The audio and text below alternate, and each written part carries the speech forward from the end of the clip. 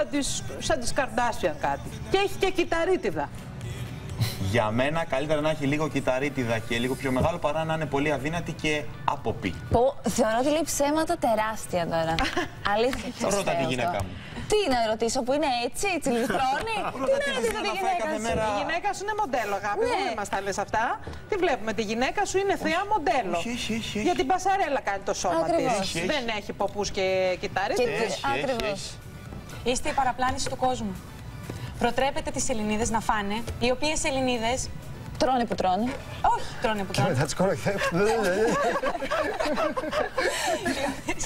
οι οποίες Ελληνίδες, καταρχάς θέλω να πω ότι ένας άνθρωπος το βάρος μπορεί να το πάρει εδώ, μπορεί να το πάρει εδώ, μπορεί να το πάρει εδώ.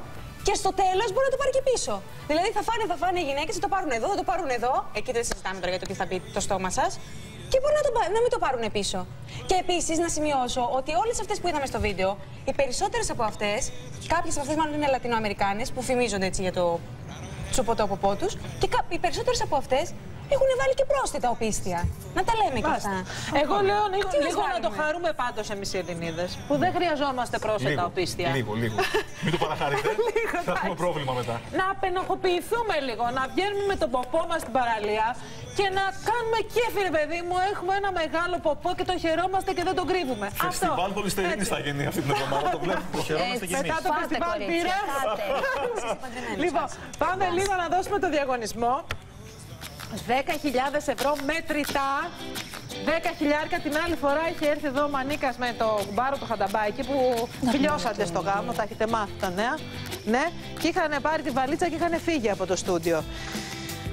Την επέστρεψαν μετά από απειλές. Πάμε να δούμε την κάρτα με τα τηλέφωνα. 14555, 1 ευρώ και 97. Έχουμε μειώσει την τιμή, επαναλαμβάνω, και από σταθερό και από κινητό. Είναι η ίδια τιμή, δεν αλλάζει.